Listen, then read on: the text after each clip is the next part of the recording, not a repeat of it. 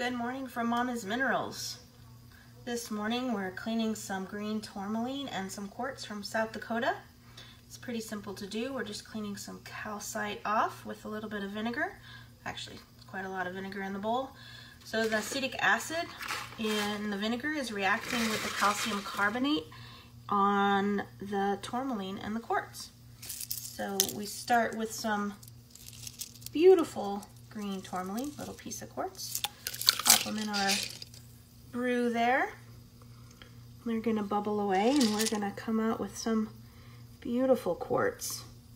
Not that it wasn't beautiful before, but beautiful quartz from South Dakota and some beautiful green tourmaline from South Dakota. Oddly satisfying to listen to the vinegar and the calcium hiss and bubble. So this is my Thursday morning.